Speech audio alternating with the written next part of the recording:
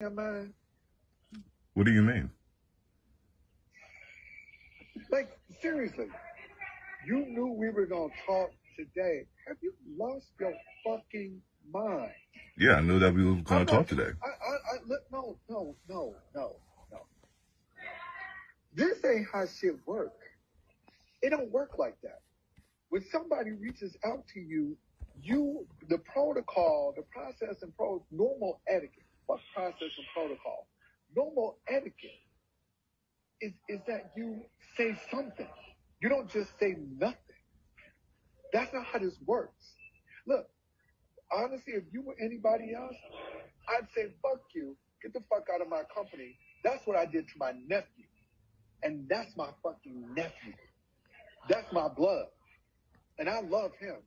You understand what I'm saying? You don't just not say anything. That shit is rude as fuck. Do you understand that? Hey, I'm sorry that you feel that way. I just knew that we were going to No, get together today. that You sorry I feel boy, you sorry I feel I feel that way? If this ain't what you want to do, resign now. But this shit you got going on is disrespectful at that. Lawrence, Lawrence, Lawrence. No, you, you're getting really upset. No, You're getting very upset. I'm saying we were going to meet today. I have I was very busy. Jonathan, do you hear me talking? I hear you talking, but you're getting very upset right now. Stop talking. And you should stop talking when you But you're not going to talk to people I'm crazy. Lawrence. Come on, you got to relax. not your elder. I'm, I, I I understand that, but you have to calm I am your, down. You have to calm down. hey. Jonathan. I get it. Hey, Jonathan. Hey, Jonathan. Jonathan. You talking to the wrong guy right now, and I don't No, know you a Lawrence, I'm not. I'm not being disrespectful, Hey, Jonathan. but you're being disrespectful. You got You to should got to relax. right. You got You should actually stop talking. well, not if you're talking to me like that. I'm not one of the other people. You can't be talking to people like that. I, So we got to actually, relax. Jonathan, actually, you're gonna stop talking to me like I'm your goddamn girlfriend. Well, Seriously. or you can stop talking to me like I'm your child. No, Actually, mutual Jonathan, respect? Lawrence. Mutual respect. Actually, Age, but age do not matter. Age do not matter in this conversation. stop talking. So, Boy, stop talking. Lawrence, Stop talking. I'm not gonna deal with that type of disrespect. So you gotta, you gotta calm down. If you want to have a conversation with me, we should have that one on one with our Zara Wait, here. Jonathan. It's just you and me. You're done. You're fired. Bye. Okay, no problem. Take care, brother. So in this video, this CEO is berating this unpaid intern and continually disrespecting him, saying things like, boy, stop talking, boy, stop talking, over and over and over, while the intern is just trying to calm the conversation down and, and bring it to a respectable level. All the intern's trying to do is get the CEO to talk to him with respect. And you might be wondering what led to this Zoom call and the reason the CEO is so angry. And you can read the article about it if you want, but I'm going to save you about 10 minutes because it's really simple.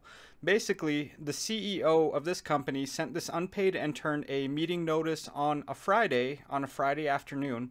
And the unpaid intern didn't notice the meeting in his inbox because he was really busy with tasks that he had to do. By the time the intern noticed the meeting, it was already the weekend because the intern was working over the weekend. And the intern didn't want to reply to the CEO in what he called strange hours, meaning off work weekend hours. And the intern knew that him and the CEO already had a pre scheduled meeting that following Monday.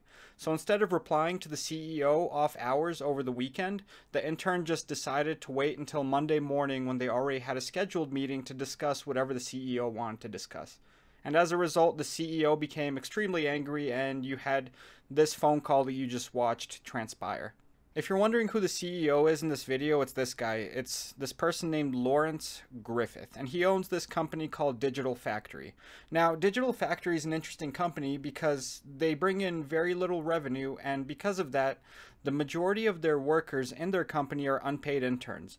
Reading through the Glassdoor reviews of this company is quite hilarious, and we're going to get to that in a second here. But first, I wanted to show you guys their website, and this is Digital Factory's website. If you're wondering what this company does, they basically provide geolocation tagging services to apps on iPhones and Androids.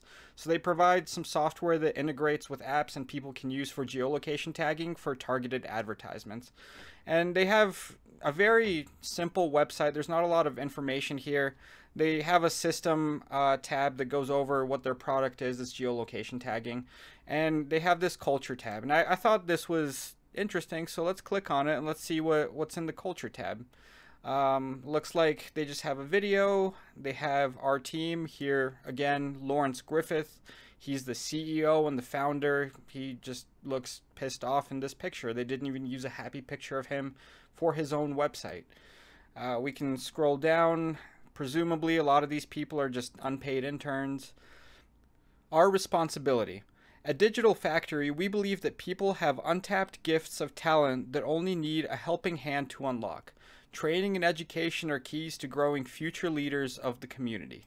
Hey Lawrence, I saw the video as well as hundreds of thousands of other people. I get what you mean by helping hand. I understand, man.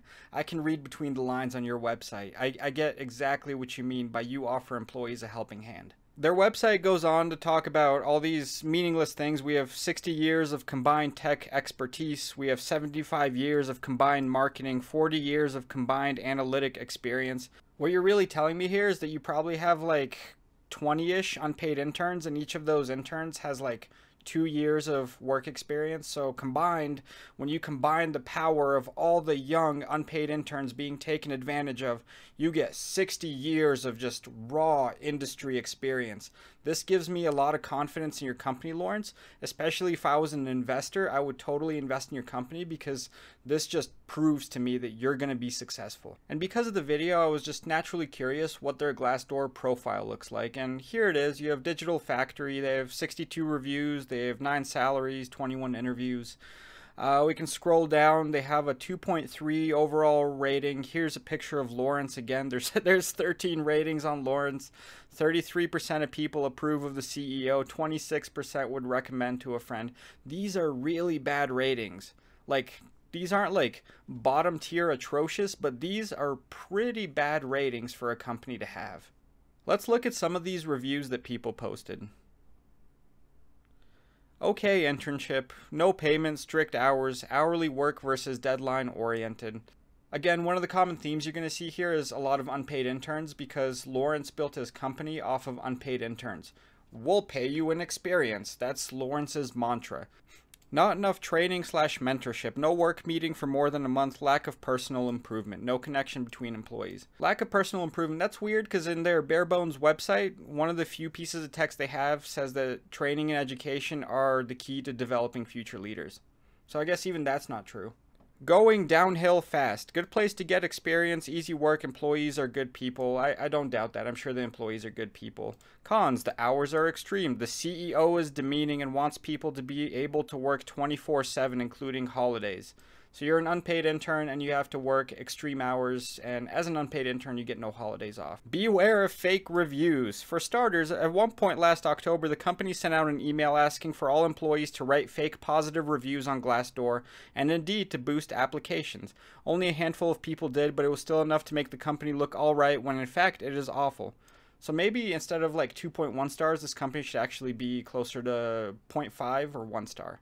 On top of that, no one is paid. Management is abusive, and the company does not respect your personal time. It's not an enjoyable place to work and definitely not a place to build a career. Glad the video came out. Pros, none. Stay away for your own well being. Cons, management. Little to no respect for employees. CEO is a bum. I'm sure other people here do great work despite him. Pros, computers are pretty cool tools. Yeah, man, computers are pretty cool tools. I agree with that. Cons, I saw the video of the CEO exploding on an unpaid intern.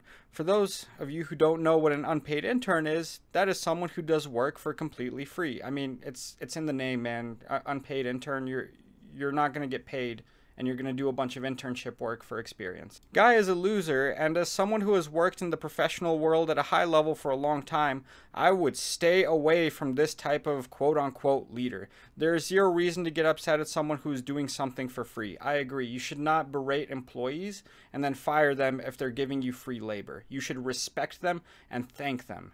Don't join. Cons. Management is the problem. There is no proper division of labor. Too much confusion created by upper management. Absolutely do not recommend. Extremely unorganized, unpaid, no transparency regarding finances, angry responses to questions. Don't work here. Countless unpaid roles, unsupportive management, lack of structure. There's a common theme I'm seeing here where all these people are just complaining about being overworked, unpaid interns who aren't even respected by their managers. If you're a manager and you have an unpaid intern, you should be the most thankful person in the world to them because you have a human being who's providing you labor for free, who's creating revenue for you, who's creating money for you so you can go buy your yacht or go buy a new car or whatever else you want to buy. And that person is doing so completely for free because they're probably young and they don't have a lot of work experience. They want to work at your company to gain experience. People like Lawrence are not that rare, and it's really unfortunate that people like this exist. Just go to AngelList and see how many CEOs are there just trying to take advantage of unpaid interns for nothing in return, or maybe they'll give somebody meaningless equity in a valueless company in return for building their entire product base. Which, come to think of it, maybe we'll do a video on AngelList. That might be a good place to look for the next one. Either way, I hope you guys enjoyed this video. I really feel bad for the intern getting yelled at and fired by his abusive CEO at the start of this video, but I really hope that guy's off doing better things now. If you don't know who I am, my name's Levi. I make videos about corporate cringe. Make sure you hit that like and subscribe button, and I'll see you in the next one.